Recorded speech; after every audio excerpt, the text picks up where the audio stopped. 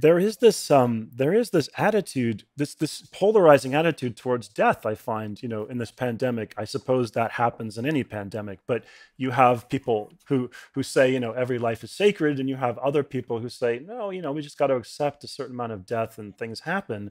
But what's interesting is that the people that normally say one or the other swap places right? So a lot of conservatives who normally say no life is sacred and we really need to protect life and abortion is terrible seem to be the ones who are saying, you know, just let people die. This happens all the time. Don't shut down your economy, et cetera, et cetera. And and it's the progressives who are saying, you know, no, we got to preserve, you know, life. This is all special. So I, I'm kind of surprised by by who has taken what attitude. But if you're an older person and we're getting there ourselves, you know, we, we are becoming increasingly dis- disposable as far as society is concerned. You know, there's already some ageism in hiring. Now it's like uh, if you're over 65, you know, it's your time, man. Just take one for the team. You know, herd immunity and all that. You know, it's it's your time has come. So I don't know what to what to make of all this. before before we came in, I was looking at what what I brought up on the screen here is. Uh, the deaths per million population. So this is you know where things are really you know uh, I think comparably bad around the world, and Sweden is being held up as a sort of uh, you know be, you know an interesting case uh, because they are just. Uh, yeah, like very... the ad for the forehead, oh, forehead thermometer, thermometer. only seventy dollars, only sixty nine ninety five. Yeah, like that, that's let's, amazing. Let's buy one. That's awesome. Yeah, I haven't seen ads for um, for funeral mortuaries just yet. Oh, and look at the top. UV yeah. light kills viruses and germs. Quickly That's exactly what I need anything. Right Everybody wants that now. Oh, now there's manscaping Manscape as well. So. and some manscaping. oh, because you know, as you're going out, you want to make sure your your man hairs are. Uh, well, it's not the hairs on your head. Appropriately, appropriately groomed. Right. These are for this oh, is for the, the right. yeah below the waist. And how to cleanse your liver. Nice. Nice. Oh, Jesus. how to cleanse your liver? That's what I'm interested in. Boy, they. Oh I want to see how to cleanse my liver. Look at those. Look at that lovely liver. The, right there. Oh, there's a beautiful liver there, and then there's an awful. The one on the left is it. not cleansed. No, but the one on the right is shiny and beautiful. It's like one of those wooden bits you used to pull out of those giant constructive human things they used to have in classrooms. Yeah, oh, exactly. you mean like the, the the models of your internal organs? Yeah, yeah, yeah. They always mm. they always used to gleam with this lovely sheen, and you think, oh, my insides are so nice and clean. It looks like you could use it as together with little metal pegs. well, once your liver's been through that treatment, yes, yes, you can. Yes, you can. Just, oh, and a nice floral bandana nice too. That's, that's yeah. so sweet. Yeah, you want to you want to look good, you know, despite what's happening want to go out in style. Of course, yeah. That's anyway. So I'm curious. I mean, I mean, morally, are, what do you guys think about the situation? Um. Well, I mean, it's not really a moral uh, thing, though, is it? It's it's. I mean, it's happening, and it's how we cope with it. And I, as far as I can tell, the most vulnerable are not being adequately protected, which is surely what this entire exercise is about you know, wait, sorry, the, uh, the you know uh, care homes, uh, care homes in, in the UK and uh, speaking and of the vulnerable, US, it's just it's, it's it's it's cutting through them like crazy. Well, yeah, I tell can, you, they can get it too. We're gonna we're gonna get some. We're gonna try to get Toby in the next few weeks, and it's not gonna answer. And there's gonna be a headline: "Man eaten by cats in home" or something. You know. Yeah, basically. Coronavirus infected cats lose minds. That's right and eat right. mans. Go on killing spree. well, um, I yeah. uh, the median age of the median age of death uh, in British Columbia, the province I live in, is 86. Hmm. Um, the uh, the the uh, there have there have been uh, outbreaks in care homes, obviously, because they're like cruise ships, but you wouldn't want to pay money for them. Um, the, the worst kind of cruise ship.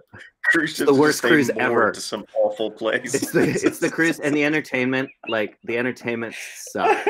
like uh, um, it never like, ends. It's not it Disney. ends. It's not Disney on Ice. You know, um, it's sing sing along with Patty. Um, um, but um, uh, and and I'm I'm being flipped, but I, I say that as someone who's you know whose mom was in a care home with early onset yeah, Alzheimer's yeah, for 15 years, mm-hmm. and uh, so uh, so you're allowed to make I, jokes. I like I know, we can't make jokes, but you can exactly. make jokes. You have you can make jokes. I don't fucking care. You can fucking make jokes. Um, but I, I also feel like it's a world I know really well uh, and have spent a lot of time in. Mm-hmm. And for me, that's the story here. The story is about um, uh, the um, the choice we've made as a culture about what we do with our elderly people, mm. particularly in the context of a of a um, human lifespan in contemporary Western societies that has been extended by 10 or 15 years in the last generation or two. And all evidence that those last 10 or 15 years suck. Um, and us not having uh, a conversation about that. Hmm. Um, that for me is the is the um, and yes. and it's it's about a week ago I was going I was going oh like this is bullshit. Why is everybody pretending that all these people in nursing homes are living this fantastic life that is in danger? Why are they not talking about what that life actually looks like? Because we're all headed there as well.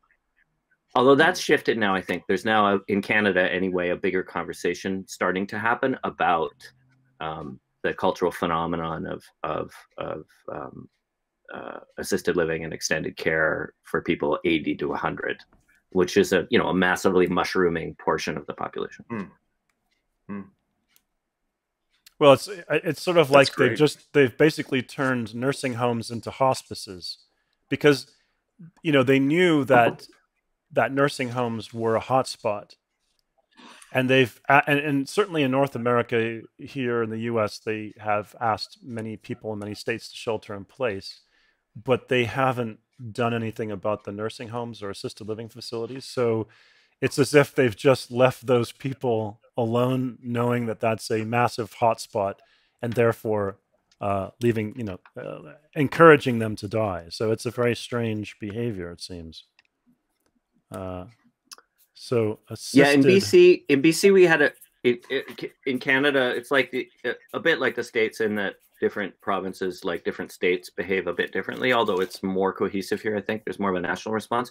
But uh, in BC, the, our our health our public health officer did something really smart right at the very beginning, um, which she immediately banned uh, uh, caregivers from working in multiple uh, homes, which is how the industry works because oh. it's a oh. low wage industry and it's contract yes, work. Yes, and so yes, nobody wants yeah. to hire them full time because then they have to pay benefits.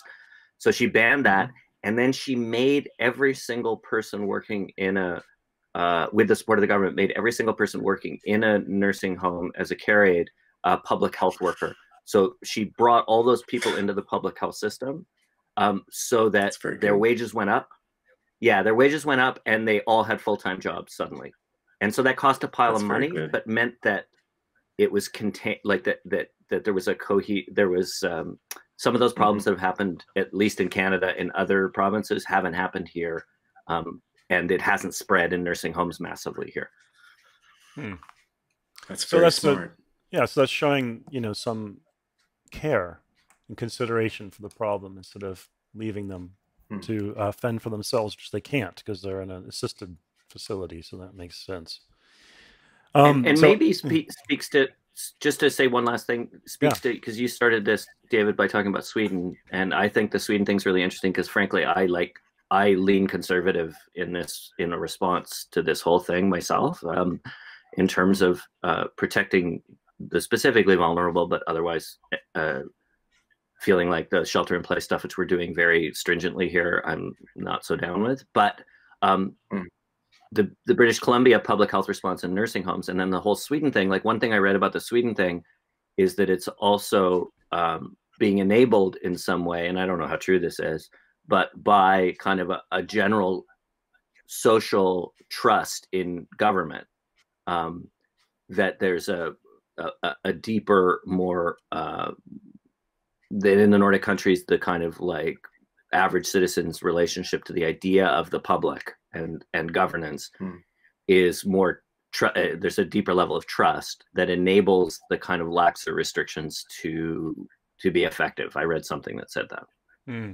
i guess what confuses me about sweden is because it, it, it, my understanding is that in north america we not not canada per se but in the us we did not have hospital capacity to allow the virus to just take its course. And so, therefore, uh, we were instructed to shelter in place in order to minimize as much as possible the surge to the hospitals, right? So that's my understanding of why this this decision was taken.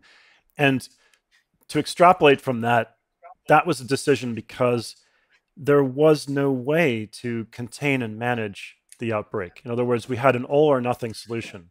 If we had a system of containment and testing and various other procedures that we could follow, then maybe we could have followed a different course. But since we don't have those things and we have limited hospital capacity, this decision was we have to do an all or nothing lockdown because we don't have other tools in our, our at our disposal. So that's sort of how it was expressed um, uh, to to to us, I think. And in Sweden, okay, they may have taken the position that they do have the hospital capacity. They're not going to be overwhelmed. They can allow the virus to move through the population. But I would have thought that even that said, they would tell the, the public, look, we should do a certain degree of social distancing because we don't want this thing to go through like wildfire. And we want people who are vulnerable to have an opportunity to protect themselves. But it doesn't look like that's occurred there. It looks like they have literally just said, it's business as usual. And so to me, that's what's a bit perplexing because, you know, I think uh, when it comes to these responses, a lot of these responses could be seen, could be um, evaluated in terms of historical behavior of influenza, let's say, where, you know, we understand influenza, there's a certain number of people that die, but we're dealing with something we've never dealt with before. And so I almost feel as if going on past data and not erring on the side of caution is a little bit um, irresponsible because what if this is a virus that doesn't leave your body like a herpes or something? Or what is it you know keeps reinfecting you? What if it has long-term consequences in other ways that we don't know about? So just sort of saying you know what? Let's just let the population get it. When we don't understand it strikes me as uh, not the best way forward. And already, you know, there are some strange symptoms showing up in the children in, in different countries like Australia and the UK and whatnot. And they're saying this looks like Kawasaki syndrome, but not entirely. And is this COVID related? So already we're beginning to get an inkling that it's possible that COVID exposure um, encourages other bad things to happen. So, with that with that in mind, I don't know if uh, a laissez-faire attitude is wise until we have more information. Um, so, yeah. Kawasaki syndrome. What that they're turning into motorbikes? well, you know, this is the. I mean, it's the good news for the open motorway, but it's not so good news for. Uh, see if I can. They're turning into profitable, profitable Japanese. If I had a, Get started carrying. Oh, yeah, They're turning into profitable this. Japanese corporations.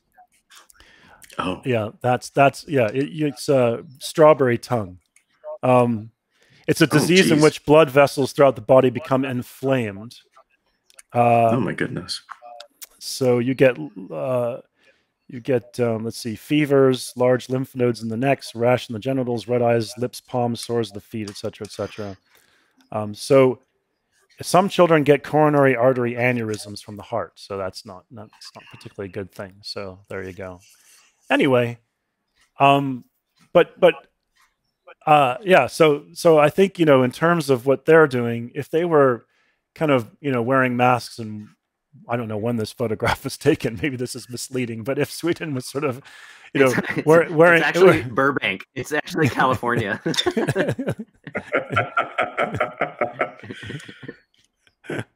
It very well could be. Oh well. I anyway, mean, uh, yeah. My friend who is who is Swedish, who I, I, speak to once a week on on Wednesday nights, he said that basically they anyone who can is doing what we're doing. Okay. Anyway, just without being told, and most Swedes That's the trust thing. Yeah. socially, yeah, most Swedes socially distance anyway. Um, hmm. So they, if there is, if there's a seat on a bus, apparently, and one of the seats is taken and the seat next to it is empty, no one ever sits there. So That's you will hilarious. always have two a two seater to yourself. And so now that all that behavior is just getting further exacerbated, and they're staying so further so apart. But apparently, so you don't have to do. pour a you don't have to pour a, a, beer and put it near an empty chair just to keep the empty chair. I see. You, they just no, will no, respect no the empty chair on its own in Sweden. Mm. Yeah. Yep. All right. That's an interesting thing about all this too is that all the cultural behaviors that I I like um, in places like New York or London or Cairo or like wherever where cultures are like all about like physical I- intense physical presence are mm. actually dangerous and the cultures i don't like as much vancouver i would count as one of those where distance is kind of like the thing um, mm. and being spread out and not getting too close are being rewarded which i find sad so marcus are you saying that you like to be touched um, am I saying I like to be touched? Uh, well, it depends by who. Um, but uh, I mean, not like randomly by strangers, but I do like, uh, you know, I, I am a person who likes to be physical in my interaction. I don't like all this online communication. I much prefer being in person, yes. working in person. Uh, I feel like our bodies, you know, all that body kinesthetic stuff. Like I, that's very, re- I feel that's very real for me. Um, and I like you know, I like Mediterranean cultures or big city cultures mm. for sure. Mm. Yeah. And I don't live in a big city. I live in a, you know, a medium sized city where that's very defined by kind of like waspy values. So uh-huh. that's a constant frustration of mine with where I live. Hmm. hmm. well, okay. And in the interest of kind of trying to pull some stuff together into a big pot, I, I made a few topics for discussion. So the first one we just naturally went to, which was nursing homicide, um, and that's what we were uh, sort of dispa- debating. I, I I I also wrote down Tamagotchi because I was thinking in our social isolation that that uh, it, it's not a not a direct um, analogy, but I'm sort of feeling like you know how that that that toy that came out many years ago where you had to keep this thing alive in this sort of virtual setting. Otherwise, it died, and it would, would you know, you'd have to throw the thing away. I sort of feel like we've become a bit like that because we don't know what everyone's doing at home, especially if you live alone. It's like you have to sort of call to keep uh, Nana uh, connected, otherwise she might uh, wither and perish. So I just put right. that out there and seeing what happens to us. Um, well, that'd be I, good though. If we had a little button that said "Feed Nana," and then we had to push it every 12 hours and that was at least it's better than what what some people do which is just dump the elderly into homes i know that's a, a cliche but there are certainly mm. people who do that the second they become a burden i know there are others where they can't manage it for whatever disease reason or for whatever, but there are a clump who just think oh she'll be she'll be well taken care of or he'll be well taken care of there it's uh, I don't I spent I I spent years torturing myself trying to decide which one I hmm. was. Hmm. But that's that this the the very fact that you were torturing yourself about it shows which one you were because these other people don't yes feel no. I, torture. I Maybe. Hmm. Maybe. Yeah. No, I think hard to know. Okay, you're awful, Marcus. That's there you go. You're it's not awful. about me being awful. It's just it's also but it but I think it's a great point like that you raise like that it's mm. uh it's uh it's a complex transaction uh and uh where my experience of that experience is that you don't it's not in inside your own head and heart it's not clear but you'll also see people it's interesting who uh, for moral reasons, don't want to put the elderly and their elderly relatives into a home and make things worse and struggle and make things worse and make exactly and make it worse because but they can't let go because they feel that exactly. would be a like failure. All those, but in fact, which which these homes are designed to care for people ostensibly with people with these conditions and illnesses, and you should sometimes let go. Absolutely, and how to navigate that territory is, I think, mm. connected to what we're talking about in terms of nursing homicide and end of life and mm. all those all those questions. I think I told David this story the last time we chatted, maybe, which is uh, that uh, I don't know what the laws are in the U.S. and and the UK now, but in Canada, assisted suicide is uh, medically assisted suicide is now legal, and we have an evolving culture yes. here in relationship. You have to have a terminal illness at the moment, although it looks like that'll even start to change. Um, and a, a, neighborhood friend of ours uh, contracted bladder cancer, and uh, we got it. Did I tell you this story, David? Do you remember? No, no. Um, we uh, I ran into a friend on the street and they were like, "Oh, Cynthia," and we knew she was sick. That's all we knew. Uh, Cynthia's having a party uh, next week. Uh, you should come. And we are like, "Okay, great." And blah, blah, And I emailed and I was like, and and the response I got to my email from the host of the party was, "Okay, yeah, Cynthia's going to come down at six thirty, but we're not sure if she, you know, how long she'll stay or whatever." And I didn't quite get it. And Amanda and I went, and it was our neighborhood community and some of my work community, many complicated thirty year long relationships and everybody was being was full. It was like 50 people or 60 or 70, even more, 60 or 70 people. And a few people we have long relationships with were like, you know, like Amanda and I immediately like, why is everybody being such a fucking asshole? Like, oh, I fucking hate this neighborhood. Blah, blah, blah. And then a friend of ours came up and went, wow, this is intense, eh? And we went, what do you mean? And they, we went, well, this is Cynthia's death party. Wow, what? That's like such a bummer because you because the, the gift you got what for her is like a lifetime membership. Yeah, exactly. You know, the lifetime membership is right. such and such, and you give it to her, and she's like, "Well, thank you, but Ron you know, Zalko, I'm dying today." Ron Zalko exercise, yeah. But it was extraordinary, and and and the rest of the evening, once we figured out, we were like, "Oh, that's why everybody's being so weird," right? And then and then Cynthia, and then we all gathered, and Cynthia talked, and uh, people sang some songs and whatever, and then and it was extraordinarily beautiful and she was hmm. totally mm. sentient, She's smoking cigarettes like crazy. She was about 75. Mm. Um, she was had, and the next day she um, uh, she killed herself at two. Mm. And uh, wow. and what it um, what it and we were all like Amanda and I and everybody was just like, but it was this incredible gift too, because we had this like uh, experience we would not have imagined possible in terms of like proximity to someone else's someone in our community's death and then this community experience that's different than awake because she's there and different also even than the wake that the pre-wake that like at some point they're going to die in the future. This was like tomorrow at two. Anyway i could just feel the the fact that these are going to become more of a thing now and become actually party, was it said that mm. it was sorry was it was it clear that it was the next day that it was happening or did yeah, you find 2 that p.m. out subsequently yeah. no we knew. We all knew. And we all amanda cynthia used to come we throw these dance parties every summer and cynthia used to come and just dance and dance amanda and i danced at, at two o'clock uh, in the living room and uh, in fantastic. her honor um, yeah like stuff like that like and and i could hmm. feel the window opening to a cultural shift you know in our very art, artsy like progressive neighborhood like for sure but to a different relationship with end of life that eventually might preclude some of this nursing homicide uh, right. if, as it extends because my mom would have had she been sentient would have chosen not to spend 15 years lying comatose in a nursing home she would have chosen to end her own life wow Hmm. I think that's really timely because there are um, uh, there's a well-known doctor, and I'm blanking on his name. Is it Gupta or something? Who who wrote a book about this subject recently? Because you know, if you have in in the U.S., if you have if you're wealthy, you can extend your life for a very long time in many cases, but the quality of your life mm-hmm. can be very poor.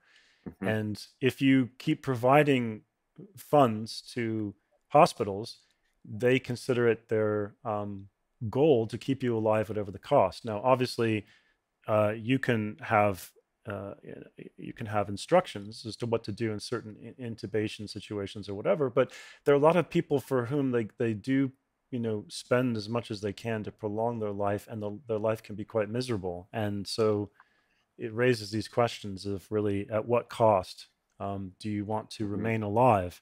And at what cost? I mean, literally the cost, but also just in terms of human cost. What what what does it mean? And I think that we are increasingly going to have these questions because the technology available to us, uh, the length of uh, the lifespans that we have now from general health and whatnot. So, um, hmm.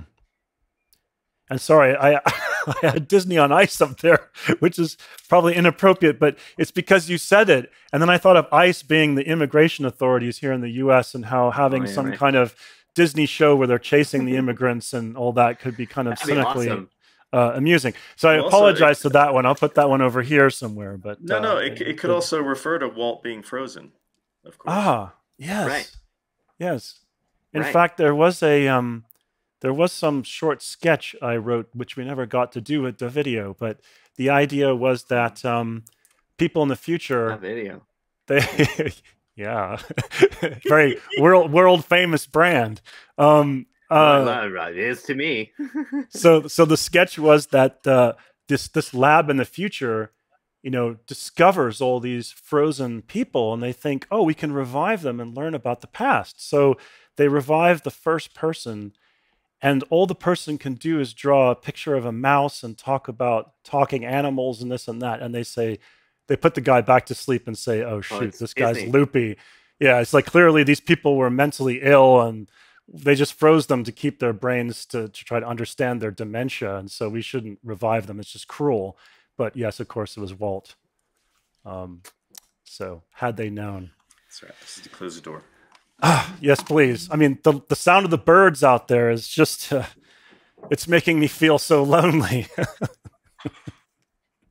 that sounds like a beautiful party and and if people can take control like that, I suppose, you know, if you are someone that feels strongly enough about it, you can turn it into a celebration.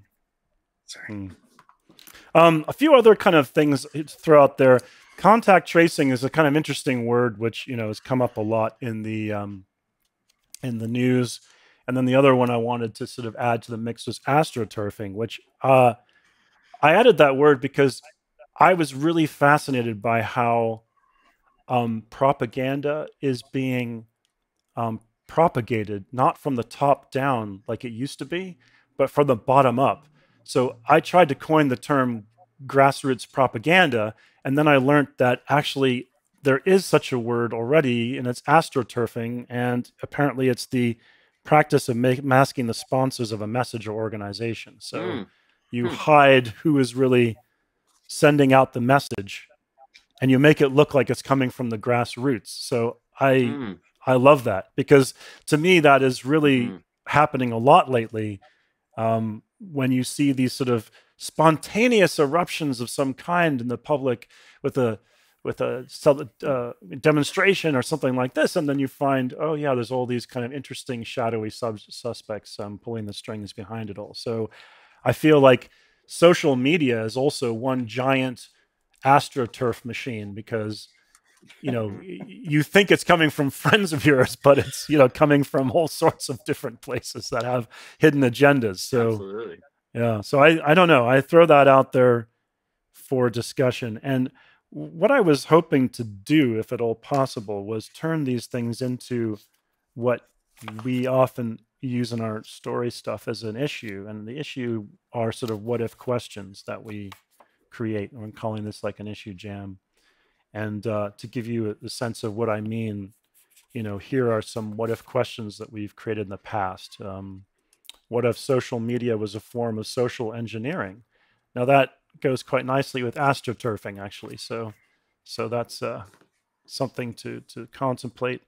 Um, another one that we had was um, what if uh, you could have personally tailored dreams? So we're just trying to think of what if questions that arise as we discuss some of these things. And um, you've already, I think, come up with one, which is, you know, something to do with what if you could pick the day you die. So I'm going to add that as a what if question. What if you could pick the day you die. All right, so that's that's one I think that came out of this today. Yeah, does this agreed. does this word contact tracing? I mean, we know how it's being used in this context, but did did this word ever appear in, before? Now, as to your knowledge, have you ever heard it before? It, to, and to I me, think, it's I think yeah. it's. Oh, I was just gonna th- say that it it's very i mean uh, uh, i'm working in the very early stages of working on a project that um, is kind of about all the data surveillance stuff um, mm. and um, the contact tracing and its relationship to covid to me is super provocative and interesting uh, in relationship to the the, the migration of our uh, selves online and its relationship to technology and capitalism because it feels like this the, understandable impulse and seeming like from what i read like usefulness of like the contact tracing methodology. Its relationship to uh, data harvesting and um, and corporate control um, is pretty explicit um, and so um, I find that like this feels like a you know one of those like I don't know if you know Naomi Klein and disaster capitalism and like those kinds of mm-hmm. things, but a potential kind of inflection point uh, around um, uh, uh, the utility of this technology and its relationship to capitalism and commerce. Well, I think I, I'm going to add to that because we're using it in the context of uh, a pandemic, which is a you know a physical virus. But I think the idea that ideas can be viruses and that contact tracing in terms of mm-hmm. who have you influenced, who mm-hmm. have you mm-hmm. come in mm-hmm. contact with, who have you spread your propaganda to, is also you know where these things can go because once we put the mm-hmm. apparatus in place and we accept the use of it now it can be used for other purposes right so the idea. Yeah, I mean, if you look yeah. at if you look at Shoshana Zuboff's book, the big one that I loved, Age of Surveillance Capitalism, like it's already happening. Like it's not it's not an if, it's like as. What sort of um yeah, what I, I've I've got that on my reading list, but I haven't read it yet. So what um what did you glean from that uh, book? Well, it's pretty comprehensive and it's like 15 years of research. Um, so I can't properly uh, kind of summarize it, but um, uh, uh, her her basic kind of thesis, and for me, fairly well supported. You know, as a complete layperson reading the material, uh, is that um, uh, the um, incremental um, kind of colonization of like every aspect of our interactions, this being one that we're doing right now, in which Vimeo is gathering the data and you know not in a sinister way like they don't give a fuck who we are but just in purely behavioral ways and now through cameras and now facial you know and the facial recognition stuff that the that it's not that that's inherently bad. It's its intersection with capitalism because the monetization of that like what corporations want most is uh, to be able to predict behavior because that's what allows them to monetize their products most effectively. Like it's just capitalism. It's not a it's not a mystery. It's not a conspiracy. Um, and the monetization of our social relationships and our human, our internal um, uh, psychic and psychological experiences um, allows corporations to um, uh, to predict behavior in a much more uh, granular sort of way which allows them to tailor um, their uh, product. Um, and this isn't ads that you see. Like there's that's the like mm. this is in terms of herd behavior in a certain kind of way. And I can't make the leap into how this occurs right now in this mm-hmm. moment, but it's in the book. Like that essentially um, uh, it's already beginning to modify our behavior in the way that you're talking about idea views. Um, and I mean, a really clear example of that is like the function of rage on Twitter, like that Twitter, that rage, anger, and rage, outrage produces more revenue for Twitter. Right. Because the angrier we are, the more we retweet. And it's attention economy. And it is factually the clicks that are the like the amount of attention that actually produces revenue. Like literally. So we have become the natural resource. We are the most our uh, our our our actions yes. are the most yeah, valuable resource there. Like we are we are not the customer, we are the product. Uh, that thing, exactly. So I love the attention economy. So I came up with a couple of what ifs when you, uh, as you said that.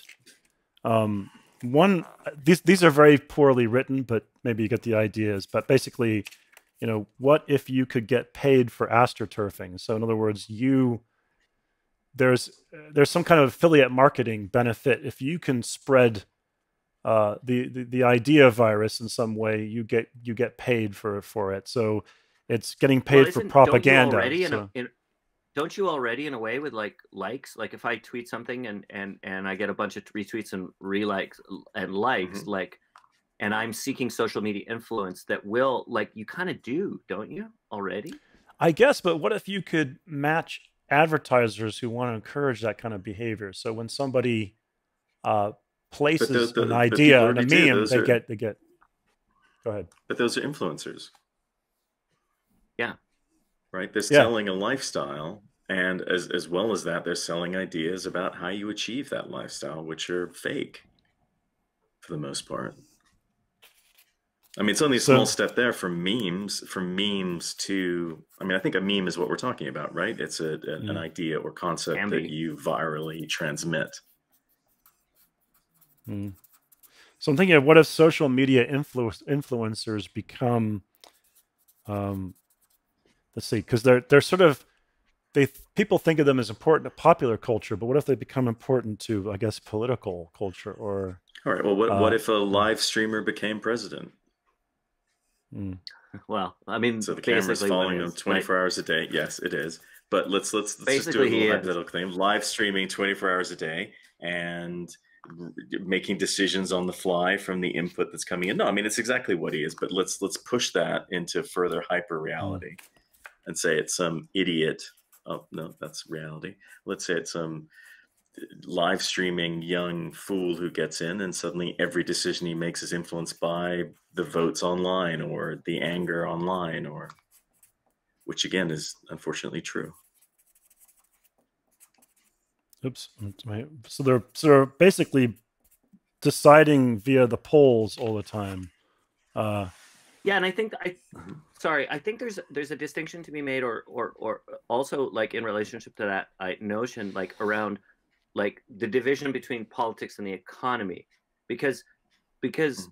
there there isn't really a distinction, right? Like that that that mm-hmm. that that those two things are so deeply embedded that the influencer, the current influencer, so not the the exaggerated version, but the current mm. influencer. Mm who is um it, you know and this this is this is how it works like the instagram influencer who's like you know doing things whether at a low micro level or it's fucking beyonce or whatever mm-hmm. like on either mm-hmm. level is selling like is is deeply embedded in the, the the economic system and what they're doing is primarily economic but that is political like that is ideological yeah.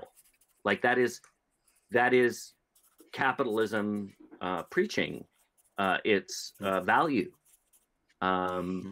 which is the moment we're in too, right? Like where the economy, like what's the that the economy is the thing. Um, that's a both true in one way, but also an ideological and political position in another. Well, I mean, I, I, I, so that is loaded because I was thinking about how right now there's this equivalency or tension being made in, in the US between uh, public health, public safety, and the economy, as if these things are mm-hmm. in uh, antipathy to one another. And so mm-hmm. some people have tried to make the argument that no, these things are not in antipathy to each other because mm. ultimately the economy depends on public health. That's one argument. But I, I think another argument is that there's a subtle sleight of hand going on where people want you to believe that the economy is the stock market, the public markets, and it's mm-hmm. the health mm-hmm. of the mm-hmm. public corporations. that to me is another mm-hmm. is a very clever shift of framing mm-hmm. because mm-hmm. that isn't the economy. The economy are clearly people, people that consume and produce. Mm-hmm. And so if you looked at the economy as your citizens spending money and making money, as opposed to your elite corporations and uh, your public markets, which very few of the actual public are invested in, then you would take a very different decision about things, right? If, if you mm-hmm. conceived of that as the economy, then you would say, ah, public health is quite important because you know we need to make sure that these people won't uh, contract their consumption or change their habits in any ways that that destroys the, the economy in general. But instead, you have this framing that the economy is the public markets and those those large corporations, and therefore the lion's share of the bailouts are going to those entities and not to the real economy, which is the people that support everyday life. So I find that kind of fascinating because it's a false equivalency that's being created by a reframing. And they're trying to get the general public to accept that the public markets are the economy when that's that's clearly not the case. And a, and a corollary, maybe distinction too, is that in relationship to the influencer stuff and kind of what Toby raised in terms of like the hmm. the. This is my Kardashians like, in the White House. There we go. That's a car, the Kardashians, no, White House edition. White House. Yeah. And and related to that is there's also I think a perception, um, an ideological idea or perception that uh, the economy of like I'm Kim Kardashian and these are the clothes I'm wearing and you're going to go buy the winner's knockoff version of these clothes is a more real sort of economy, the consumer economy, than the economy that is the low wage caregiver working in the nursing home caring hmm. for an elderly person that that is not the economy in the same way and yet in the terms you set up david they, hmm. those are those are those are both uh, and which is productive and which is not, which is profitable, which is not, um, is an interesting question because ultimately they're all people doing things, doing stuff. Mm-hmm. Hmm. Yeah, I mean, I have an attitude on which is more valuable, but but that doesn't. I I don't have to put my own moral, you know, a value judgment on it. It's just I can say that across the board, the real economy, as far as I can tell, is people spending and making stuff, and that that is it, that it comes from sheer volume. That when you have uh, and all these people doing those activities, they are contributing to the economy. Whereas when you are talking about people that uh, that extract uh, value from the economy and don't put it back in, well, those people are not part of they're not part of the real economy because they're doing an extraction rent seeking activity which is totally different so right. so for example when we talk about large corporations i think they're very interesting because right now there's this all this emphasis put on helping them and saving them but you know we know for many for many decades now that what large corporations tend to do is they act like multinationals that have no particular allegiance to their home country yeah. let's say and so you know they'll take money out of the economy they'll offshore it somewhere else. They'll they'll they'll send work elsewhere. They'll do whatever they can to really or not buy back money back. buy back their own shares. They, they buy, buy, back their own, shares. shares. I mean, that's what which which helps bailout yeah. money. Well, yeah, and it helps shareholders, but the shareholders are not necessarily spread distributed well throughout the real economy either. They're so not. so it's a it's a the whole thing is a fallacy, um, but it's a fallacy that's being pushed on us through astroturfing and other wonderful methods. Um, I can see that we're getting one point one. Yeah, go ahead. One quick point of information. Mm. Just this is, and not to do the Trump in Canada thing, which is you know, but it's been interesting because in this COVID crisis, Canada has responded differently than it ever has before. And the vast majority of the money that is being spent is being sent directly to individuals. That is unprecedented. That has never happened before. Um, and there's been very little blowback, um, which is which is very strange. So basically, everybody in Canada is getting two thousand dollars a month right now. It's essentially UBI, but it's yeah temporary. That's great. That's a great. Well, no, but weird. it makes but it makes sense because I think that when you take trillions of dollars as we have in the U.S., if you were to give those trillions of dollars to individuals, then you would be supporting the real economy. But if you give the trillions of dollars to corporations and things, you're not supporting the real economy. So that's that's kind of the point that I was making. So I think UBI is fascinating, and um, it, I've listened to a lot of argument around it, and generally I'm in favor of it. I think it's a really interesting idea, but I think that that said, it's still kind of a band aid for systemic problems that that you may have in the distribution of wealth, and so you you create totally. that as a band aid. And you know, it'd be, be it'd be better not to use UBI as the mechanism, but in the absence of anything else, it may be all we have to try to distribute wealth more evenly. Um, the bigger problem, and this could be a whole nother jam for the future. The bigger problem, I think, is just what we value, what, what we put a valuation on things and we tend to use price as a valuation metric and that gets us mm. into all sorts of trouble so if we put value and uh, uh, if we measure different things, measured value in different ways, we would have a different society. So, um, I I um, wanted to kind of get back to some of these what if questions. This one is a kind of a uh, maybe a silly one, but it's sort of what if your death party really sucks? Because you yeah, described a, a really you just you just you described a beautiful one and not, not, always wanting to kind of find the humor in the tragedy. Um you know i was thinking you know you you hold a death party. Maybe you don't tell everybody right away that it is a death party like you were saying you went to this yeah, unwittingly. and and so the the yeah. person doesn't really want to cast a poll so they basically invite people to a party which is their death party but the party really sucks and now they don't know if they tell everybody they're gonna you know feel bad or or whatever. So it's funny. Um, so now I'm also um, so I'm also going to add uh, based on something that Toby said. What if Nana was Tamagotchi? Because then then that's almost like you make a game. You gamify nursing homes, right?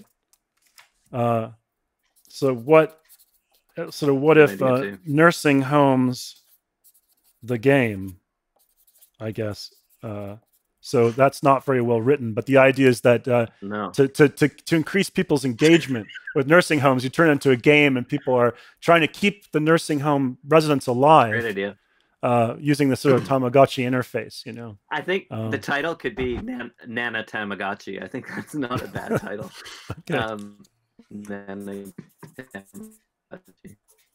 Um, just a heads up that I have a, a, a 9:30 Zoom, and I'm gonna take yeah. a few minutes between Zooms because I've I've l- learned not to just go from one to the other, um, screen eyes okay. wise. So I'm gonna I'm gonna probably sign off in like 10 or so minutes. Well, I think okay. we're I think we're getting to the end. This is good. I think what what my my hope was was that we could come up with some what if questions that would be useful in the future. I might rework yeah, some of fun. the wording, but I think these ones are you know kind of nice. We have we have what if your death party really sucks? We have um, what if your leader live streams their life and decides everything via polls? Uh, what if Nana was Tamagotchi? What if nursing homes were the games? We've got Nana Tamagotchi. We have what if social media influencers become leaders? That's part of the other one. It's kind of uh, like the live streaming one, right? Yeah. Mm. What if you could pick the weight the day you die? Uh, what if you could get paid for astroturfing? I have to rework some of the wordings. And what if you get paid for propaganda, which you, you say is already happening? So I think we've got a, a, some some good ones in there.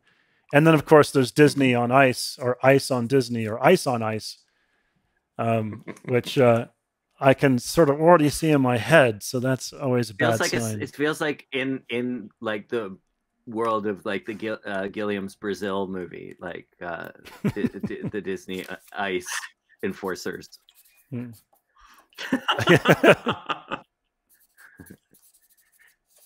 so I this is kind of a very generic one, but it's what if ideas are dangerous? And I bring that up as this idea virus and contact tracing. I feel like there's a what if there that can be crafted, and I'll have to think about that after this. Uh, after well, the idea meetup. that you'd have to be put into an idea quarantine. Oh yes, mm, that's good. That's good. That's really good. Yeah. Idea quarantine. I so love you're, it. You're, so you won't be polluting other people with these ideas you have.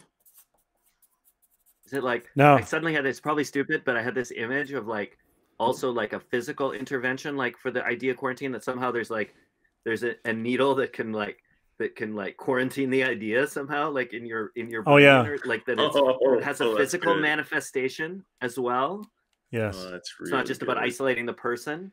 It's about like That's really good. Well, how controlling. I mean, yeah, okay, oh, okay, but hang on, wait. But isn't Yeah, that yeah. now we're getting into uh, can you be inoculated against certain ideas?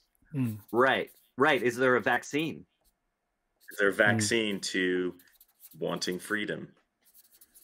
And is and can you tr- can you trace the idea through antibodies? Like, do you know what I mean? Like, can you?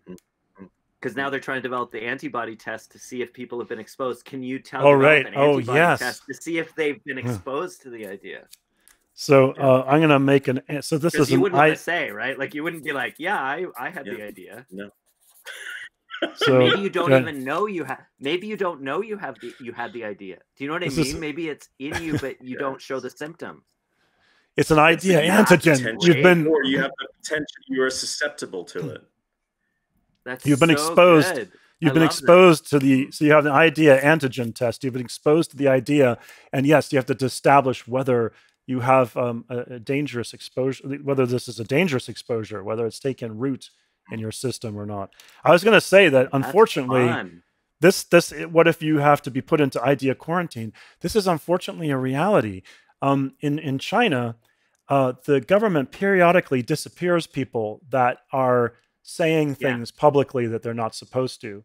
And uh, so, you know, this has happened with uh, celebrities and professors and various things. They'll disappear sometimes for a couple years, even, and then they'll reappear. And it turns out they've been kept in some resort hotel against their Yes. will, you know, with a couple of minders for like, you know, months or years in an effort to convince them that they really shouldn't say or do those things. which is which is The one- the- which is Brave New World. That's Brave New World. I mean, that's what happens. That's Mm. the exile for the resisting intellectuals. Bernard Marx has Mm. offered it, um, but refuses it because he's a, ambitious and a toady. Um, but they go to Iceland. It's not a resort, but it's actually really fun there because it's a bunch of really smart people. Like, but they have no impact on society. Well, I have the answer. Uh, you just put them in a nursing home, and uh, that takes care of them.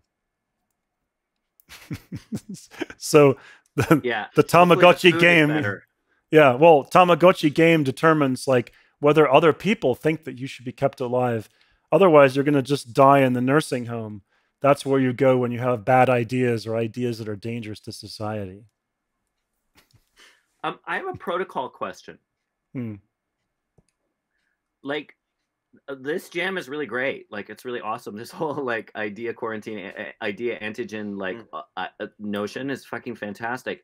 I'm curious because I am working on a number of things. Like, like what's the kind of protocol in terms of using ideas that we jam? Like, how does that work? Um, because I wouldn't want to use something like the idea of an idea antigen or something without in a in a in a subterfuge way or, or but at the same time i go oh that's a really fucking good idea like Yeah, what's well- the, what's the well, protocol No, that's a good question, and I think that um, you know there's there's my personal view, and then there's I guess the legal view. The legal view is that this is all fair game. These are not uh, copyrightable. These are just ideas, right? So it's not something that you can copyright until you've actually expressed it as a written work in, in more detail. So. And my attitude is a little more broad than that. I always feel like ideas are free because if you are creative, Right. you'll have lots of ideas, and there really isn't any reason to to. to i feel the same way i just want to make sure like because Yeah yeah, and Yeah. and so so what I've been doing with Toby i- i- is that um, we've been uh, using an approach of sorts that I'm that I'm noodling, I'm working on, and the idea is to sort of come up with these pitches that are um, to a certain degree fairly generic, so that they don't feel that proprietary. Then they pass a certain point where they start to feel more proprietary. become, so yeah, yeah. so there's a lot of work that we sort of do up front and then I post online, which to my in my mind is non-proprietary. They're just uh, you know, kind of fun discussions that that find connections between things and we connect the dots and we come up with uh, you know, interesting material for pitches. But it isn't really until you've put together a very detailed pitch that I think it starts to become kind of proprietary territory.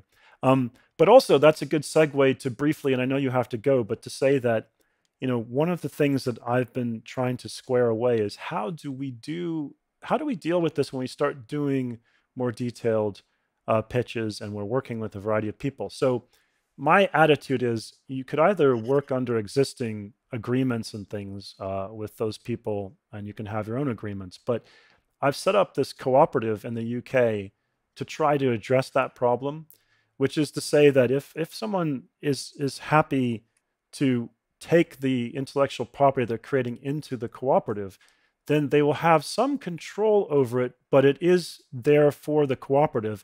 And then any of the ideas that people sort of come up within the cooperative are fair game and they all stand to benefit. So they'll benefit from commercializations of things that they themselves have created, but they also indirectly benefit from the commercializations of everything. So it's kind of a way to remove some of those uh, disincentives to keep things private or or not to share and not to not to mentor or help out other people. So you know, I'll, I'll, I'll happily share more information about that in future. But that's sort of my my answer. It's kind of like taking open source and saying, let's take all the benefits of open source, but let's let's allow for monetization, which open source doesn't. Let's allow for commercialization. Yeah. It's interesting, David, because that in many many ways is the principle. So I I co-founded kind of an art center here in Vancouver, and it was four companies, uh, theater companies that came together. Um, we were all we'd all been hanging out we're all the same age, and this was now 15 years ago, and we're struggling for space and blah blah blah blah blah. And we came together and decided to pool our resources and formed a network called Progress Lab that has now become an art center. It's a you know it's not huge, but it's like a 10,000 square foot art center with a big studio and offices and blah blah blah and all those things. Mm-hmm. And the principle we kind of used. Um, we're not an officially a co-op. Um, we're a non-profit. We formed a non-profit society that's an umbrella society that we all sit on the board of. Mm-hmm. But the principle that we used was kind of fundamentally the same. It was a co-op principle, which was like at, at its heart was like if people are transparent and behave ethic and try to behave as ethically as they can, that something good happening out of what is generated here for one of the companies is actually good for everybody. Right. And that, and, I, I, and I think that yeah, I think you're you know you're you're talking about uh, business entities that try to equitably distribute um, financial benefits and other things that come. So, so to and, me, but also share resources, right? Right. Yeah.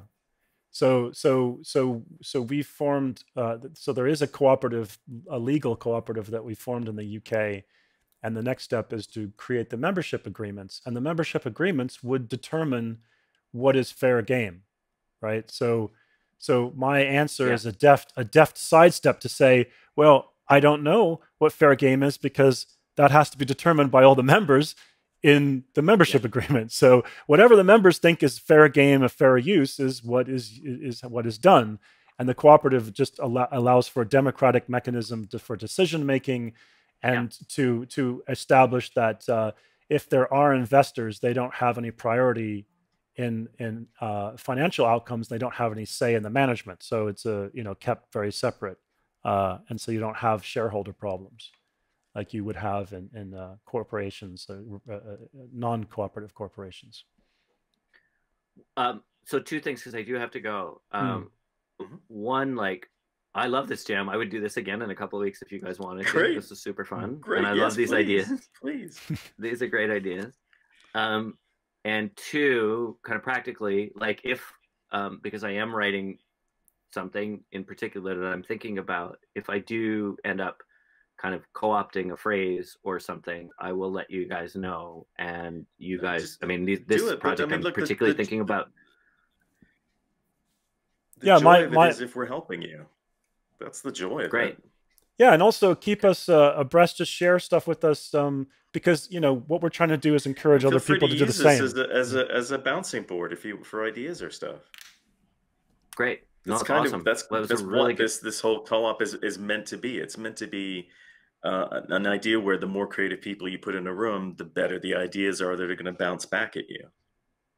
Yeah, which was my experience here in that that jam. That was fun. Like, there's two or three Good. like really solid.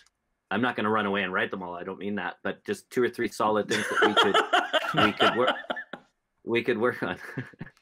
Good. Well, I'm glad that you enjoyed it, and I would definitely let's let's have let's have everyone together again on the near future. So yeah. please, please, so, this was lovely.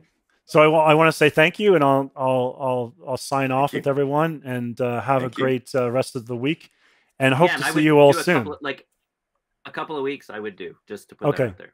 Fantastic. Perfect. Thank you, okay. Marcus. All right. Thanks, you guys. Done. Thank you. Have a Ciao. good Zoom, Bye. sir. It was lovely to see you. Oh, Bye. yeah. It's not a good one, but anyway.